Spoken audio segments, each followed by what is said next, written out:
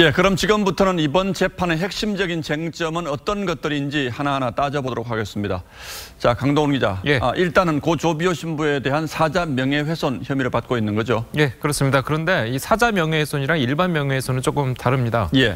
일반 명예훼손은 사실이더라도 이 명예를 훼손하면 죄가 되지만 이 사자 명예훼손은요, 이 반드시 허위 사실을 적시했을 경우에만 죄를 물을 수가 있습니다.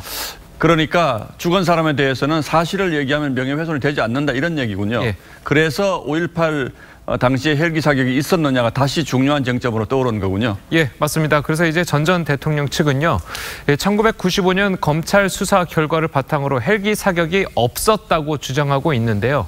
예, 당, 당시 검찰은 헬기 사격으로 인한 인명 피해가 확인되지 않았고 예, 뚜렷한 피탄 흔적과 파편 등이 확인되지 않았다는 점을 주요 근거로 들면서 이 헬기 사격을 실시한 바가 없다는 결론을 내린 바가 있습니다. 그렇죠. 예.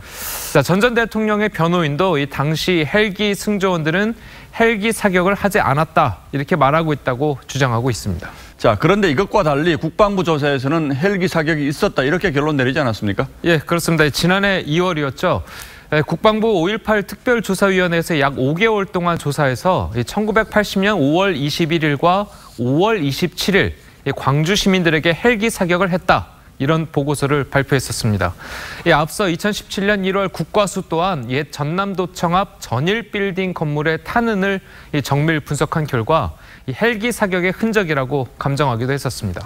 어, 그러니까 이 헬기 사격 여부에 대한 법원의 판단은 지금까지 없었던 거군요. 예. 그런데 만약 이번에 헬기 사격이 인정이 되면 전 전 대통령은 사자 명예훼손으로 처벌을 받게 됩니까? 꼭 그렇지는 않습니다. 이 사자 명예훼손이 인정되려면요, 이 허위 사실 여부 말고도 이 사실이 아 님을 알면서도 허위를 주장했다. 이런 고의성이 입증돼야 합니다. 예. 전전 대통령이 책을 쓸 당시에 헬기 사격이 있었다는 걸 알고 있었다는 한다는 거죠. 이 전문가의 말 한번 들어보시죠. 과연 전두환 대통령이 이걸 알았는지 고의성이 있는지에 대해서는 실제 그 보고 부분에 대해서 증거라든지 아직은 안 보이기 때문에 다툼이 있는 걸로 보입니다. 예, 이 법조계에서는 고의성 입증은 쉽지 않을 수 있지만 이 설령 몰랐다고 하더라도 이 사실 확인 없이 파렴치한 거짓말쟁이 이렇게 강하고 단정적인 표현으로 썼기 때문에 최소한 미필적 고의는 인정될 수 있다고 보는 시각도 존재하고 있습니다. 예, 강 기자 말을 듣고 보니까 이게 상당히 복잡한 논쟁이 될 가능성이 있고 시간도 또 많이 걸릴 수도 있겠군요. 예. 예 강동원 기자 잘 들었습니다.